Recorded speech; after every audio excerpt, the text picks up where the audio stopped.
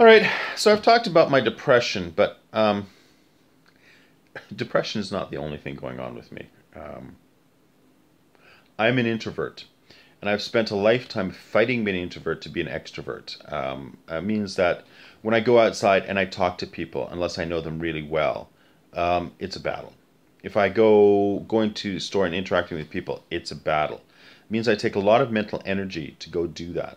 Making a phone call is a huge mental battle for me, um, and always has been.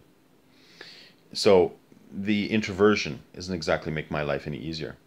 Another thing is I have um, ADD or ADHD, um, and not only do I sort of have it, when I was tested for it about, I don't know, 12 years ago, um, I got a perfect test score.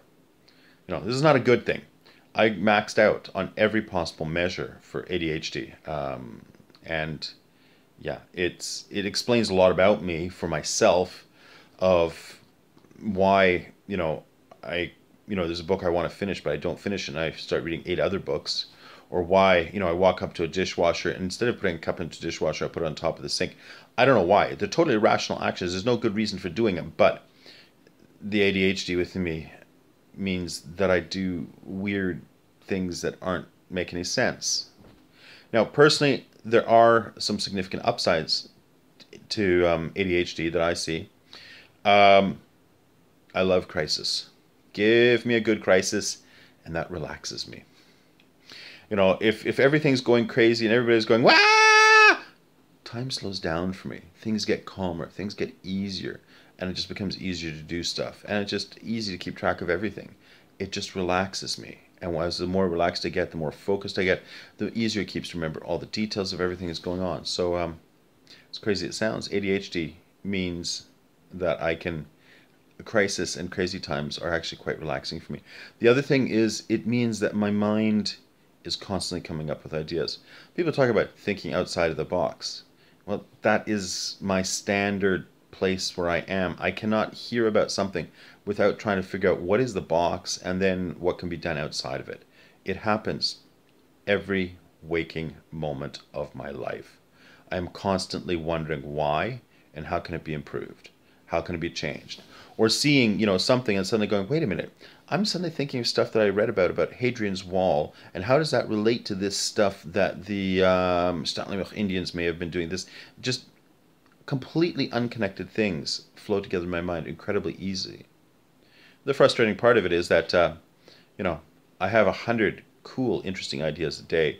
There's no way I can act on on even you know one of them on, on, on a day. I mean, it's like I can only act on so many ideas in a year, but I have like a hundred cool ideas, amazing ideas, but I can't act on all of them, which which is somewhat frustrating. But I have to live with ADHD, and I take Ritalin. I used to self-medicate with coffee, and by self-medicating with coffee, it meant uh, you know before I had two or three cups of coffee in the morning, basically I was useless for doing anything it was pointless in even doing anything. And basically, it was like you know I was functioning, was still asleep, um, and it's because I need the stimulant from the caffeine. Without the stimulant, uh, it's very hard for me to do even the simplest tasks. And day, I mean, the whole day can go away if I don't get the stimulant. One other aspect of ADHD is a lot of people with ADHD um, suffer from depression. It is a much more common thing among people with ADHD. So if you have ADHD, I've got depression, and I'm an introvert.